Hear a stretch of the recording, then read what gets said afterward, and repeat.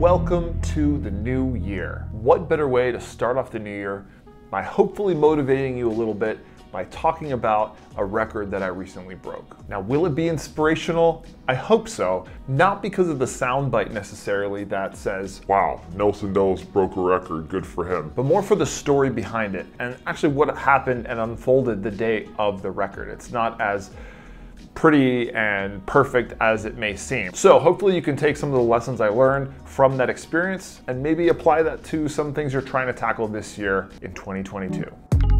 So let's start with the basics. What was the plan? If you look at my video, that kind of explained or announced the record I was going to go for. It was memorizing the most cards underwater in a single breath. Now, I spent a couple months practicing, getting back into the groove of my cards. Luckily, I had the memory championship a little bit before that, so I had been practicing cards already, so I was kind of in the groove with that. But the big thing I had to work on was holding my breath. When I started, I could maybe do 30 to 40 seconds. But after a lot of practice, I was able to boost that number quite a bit. We'll get into that. So when I had this idea to break this record, I've thought about it for years now, but it wasn't until my sponsor, my partner, MindLab Pro, who's sponsoring this video, decided to sponsor the entire Guinness record attempt. Why not? A great way for me to put my mind into something, knowing that I have some support. While that added the support I needed to do it, it also made a lot more be at stake and a lot more pressure suddenly. They were gonna be there the day of the event, they were gonna film it for me, but it was also for the product, it was for this whole sponsored event. So there was more at stake than just me and my own desire to have a Guinness record. I started training a few months in advance, but I started rigorously training about six weeks before the event. And the event was gonna be on uh, November 13th at the University of Miami pool on campus, so in a place that I was somewhat comfortable and it was a public space. The Guinness record uh, body requires that it be a public space that can be observed by anybody for it to be a valid record. So at first I started practicing in my parents' pool. We live in Miami. I don't have a pool, but my parents do. So every couple times a week I'd go over to the house and pretty much just work on holding my breath.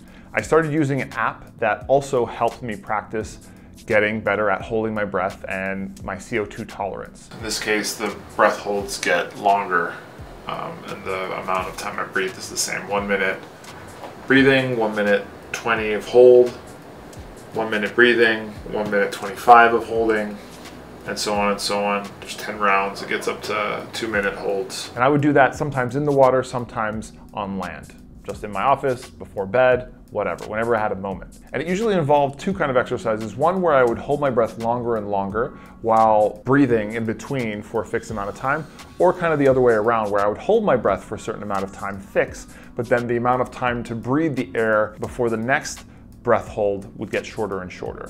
And this is kind of what freedivers do. This is what surfers do to train their capacity to hold their breath longer. In the end, I was able to get my personal best of holding my breath, and that was three minutes and 45 seconds. I wanted to get to that four minute mark, but three minutes, 45 seconds, I really can't believe that I'm underwater for nearly four minutes without a breath. That was pretty cool. And what was always interesting to me, because I'd never noticed this, but after a while of being underwater, your body naturally starts to convulse. It, it's trying to make you breathe because of the CO2 buildup. And part of the training is to kind of suppress or be able to tolerate that feeling and to push it back to be able to fight through the pain. And I remember when I first started, that feeling kicked in in maybe 20, 30 seconds, and then I'd give up maybe 10 seconds after that. But I realized after training, I'd hit maybe a minute before that happened and then eventually a minute 15 before that happened. And then by the end, I was getting to about a minute and a half with no convulsions before my CO2 desire started to make me feel really uncomfortable. A minute and a half, that's pretty awesome. But that's pretty cool because that means that another minute and a half plus was me just fighting this urge of my body convulsing. Now that's cool, but it's also tricky because now that's distracting for when I memorize, right? Imagine convulsing while trying to make sure that you have cards in your mind, right? So I started doing that training and then I started, you know, incorporating the cards underwater. I, I bought a whole set of underwater cards and I basically would do mostly the on land uh, CO2 training, the oxygen breath holding training with the app, and then I would do some training of memorizing, you know, half a deck underwater. Easy. Then I would do three quarters of a deck underwater. Okay, I could do that. Then I did a whole deck underwater. And I got to a point where I could do that one deck pretty consistently, casually, without much problem. You know, whether I stayed underwater a minute, whether I stayed underwater a full two minutes to be certain I had all the cards, I was good with one deck. So I started focusing more on the breath holding because if I could get more comfortable underwater, I knew that the cards would follow. By the end of that week, I was hitting the record and even breaking the record. I think my highest I ever got was like 79. Maybe I touched 82. I'd have to check. But I felt good. And now what I started to kind of formulate what the plan was going to be on the day of. Because if I showed up and I did a record attempt and I failed, that's going to look pretty bad. I didn't want to disappoint my sponsor. So I decided I was going to go for two records. There was another record which might serve better as a warm up. And if I got it, at least I'd get my main goal of getting a Guinness World Record. That was always a goal. One thing that I don't have in my memory accolades is a Guinness record. So if I could get one and that's it, no matter what it was, related to memory, of course, cool.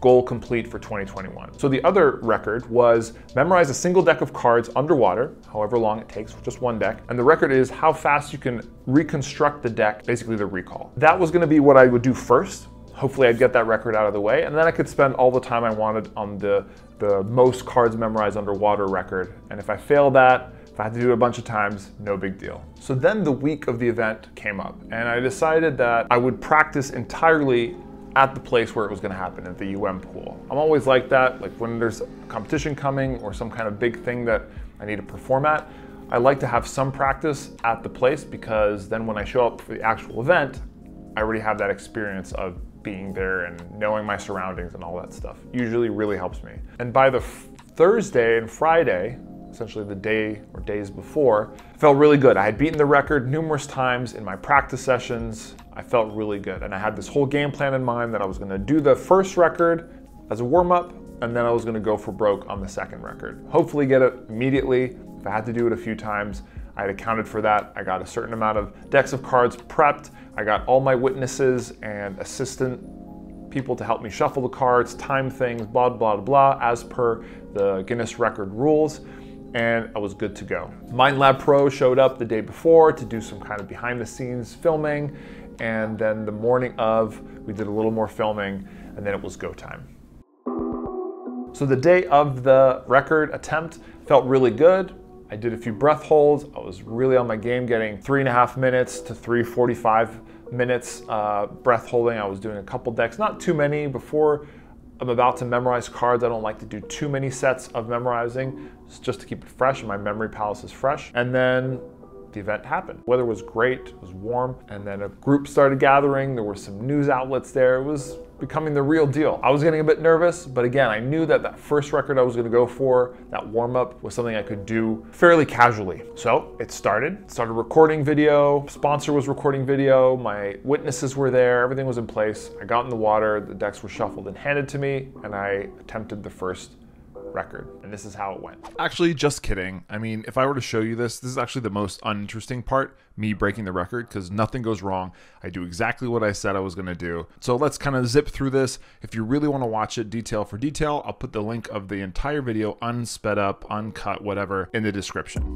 So in short, I had a professional come and shuffle the cards. The cards are then handed to a witness. I had two of them to help handle the cards in and out of the pool. I get in the pool. I spend about two minutes kind of pre-breathing, making sure I fill up my lungs with air, get some good exhales, get the CO2 out of my system, blah, blah, blah, blah, go underwater. I do the thing, memorize the cards, riveting stuff, I know.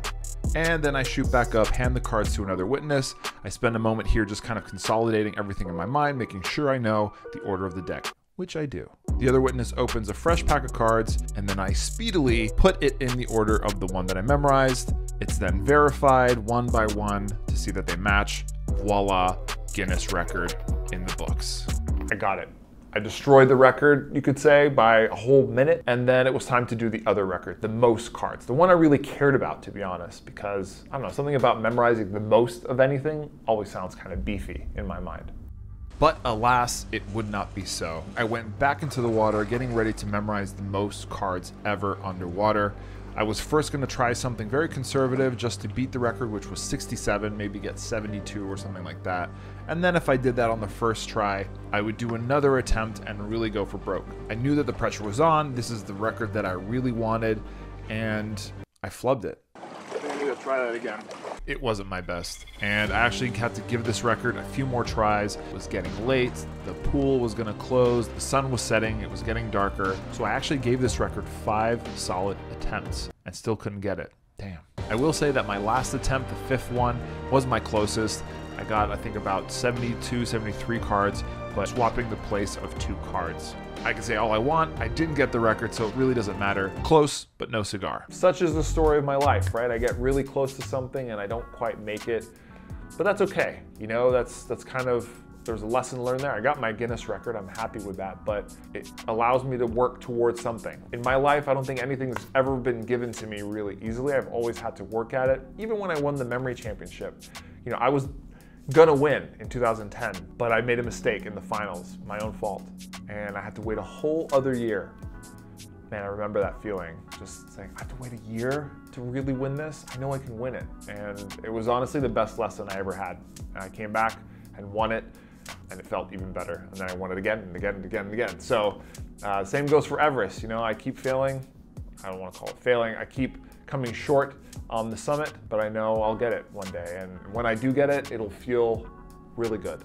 Even more so because I persisted and kept at it. So same with this record. I'm gonna attempt it next year, and not only am I gonna just break it, I'm gonna smash this record. You'll see.